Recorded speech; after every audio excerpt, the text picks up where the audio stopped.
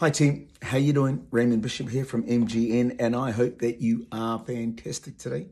I'm here with an explanation about Song Seven, um, that's going into the finance room of the sixth album, and it is entitled Freedom.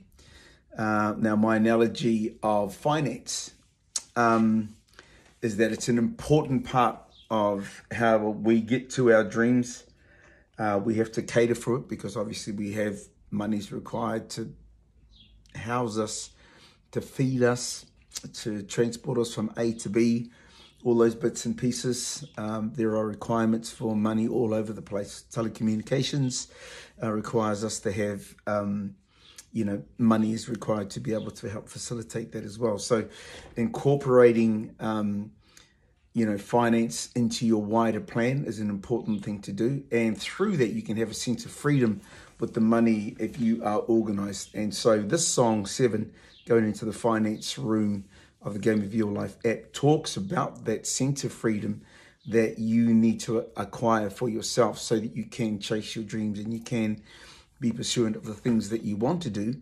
Um, but you need to have that plan in place as well so that you can so you can do it. So this is the hook for that song seven going into the finance room and it's entitled freedom. Design the freedom of life you want. Plan for the future that you desire. Find your path to the pot of gold so the freedom you seek is as told. Now there you go make sure that you have the sense of freedom around the finance that you need to be pursuant of uh, the dreams and aspirations that you have in your life. Make a plan, and then you should be able to achieve anything that you want. Cheers, guys.